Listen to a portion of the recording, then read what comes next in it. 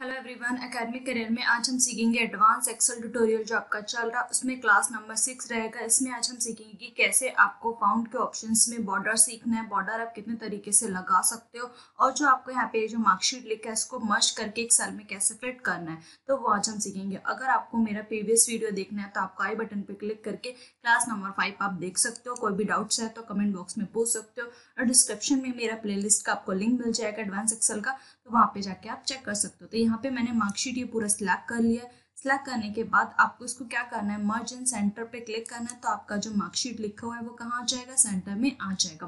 तो यहाँ पर हमने इसको सेंटर में कर लिया, इसकी फाउंड की फॉर्मेटिंग कर लेते हैं। यानी कि हमने इसको सिलेक्शन किया बोल्ड करना है तो बोल्ड कर सकते हैं टैलेंट करना है टैलेंट कर सकते हैं अंडरलाइंस करने है तो अंडरलाइंस कर सकते हैं। यहाँ पे फिल कलर मुझे चेंज करना है तो मैंने फिल कलर चेंज कर दिया। अब सभी में बॉर्डर लगाते हैं तो यहाँ पर मैंने सिलेक्शन किया पूरी की पूरी मार्कशीट को और यहाँ पर आएँगे आप बॉर्डर पे। बॉर्डर ये रहा।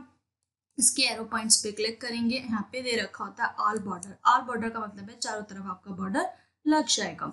अगर आपको सिर्फ़ आउटसाइड बॉर्डर लगाना है तो हम यहाँ पे क्लिक करेंगे तो सिर्फ़ आउटसाइड बॉर्डर आएगा तो इसको लगाने से पहले आपको नो बॉर्डर करना पड़ेगा, जो आपने लगाया है बॉर्डर फिर आप आउटसाइड वाला यूज़ कर सकते हो तो यहाँ पे देखिएगा आउटसाइड बॉर्डर बॉर्डर आ गया।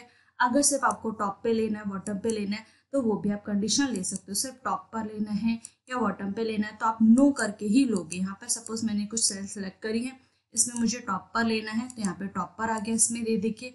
फिर मैंने इसको सिलेक्शन किया, इसके बॉटम में भी चाहिए मुझे तो यहाँ पे मैंने बॉटम ले लिया तो ये बॉटम में भी आ गया। आप एक बार बाहर क्लिक करके चेक कर सकते हो, ये देखिए।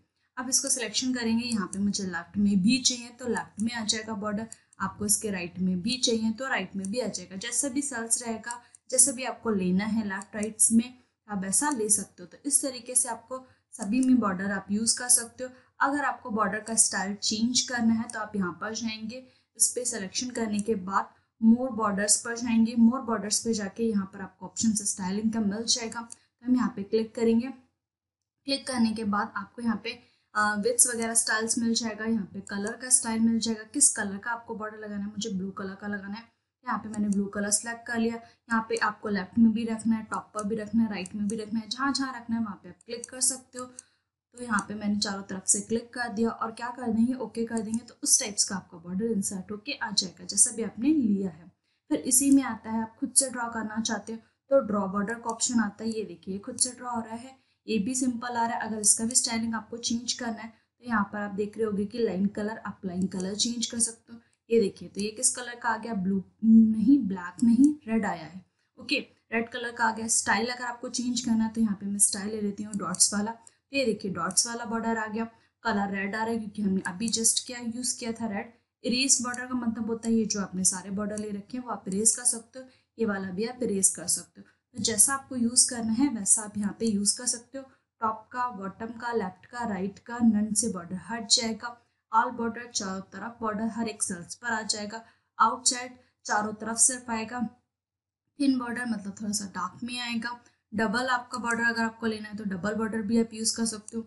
बाकी आपका यहाँ से ड्रॉ खुद से भी कर सकते हो रेज भी कर सकते हो लाइन स्टाइल्स वगैरह भी ले सकते हो। आई होप ये ऑप्शन आपको क्लियर हुआ होगा। अब हम यहाँ पे फिल कलर भी डाल लेते हैं। ये देखिए नीचे थिन वाला बॉर्डर आ गया। तो यहाँ पर हम क्या करते हैं, इसको सिलेक्शन करके नॉर्मल ही रखते हैं पहले तो बॉर्डर को, क्योंकि नॉर्मल वाला ज़्यादा बेटर लगेगा। यहाँ पर जाके हम स्टाइलिंग पहले देख लेते हैं कि यह स्टाइल हो गई चेंज हम स्टाइल फटाफट ले लेते हैं अपना ब्लू वाला और यहाँ पे क्लिक कर लेते हैं कि हमें जैसा लगाना था वैसा ही यहाँ पे क्लिक हो जाए। यहाँ पे फटाफट हमने ले लिया और ओके कर दिया तो ये बॉर्डर वही वाला आ गया जो हमें लेना था। अब मैं कलर की बात करूँ तो यहाँ पे फिल विथ कलर हो जाता है। यहाँ से जो भी कलर आपको शेड्स डालना है तो वो आप यहाँ पे डाल सकते हो।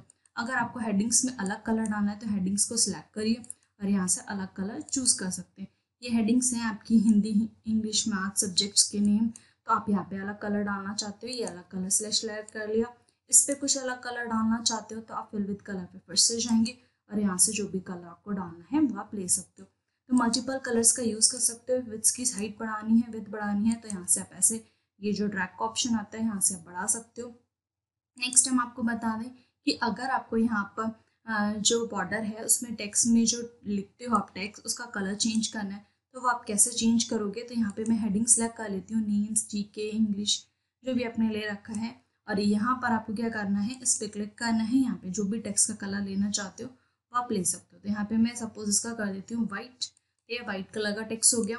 ओके बाकी अंडरलाइंस वगैरह फाउंड स्टाइल्स वगैरह, ये सारा मैंने आपको बता दिया। बॉर्डर्स के जितने भी ऑप्शन है आई होप आपको अच्छे से क्लियर हुए होंगे। थैंक यू नेक्स्ट वीडियो में हम बात करेंगे पेस्ट स्पेशल के बारे में। Okay thank you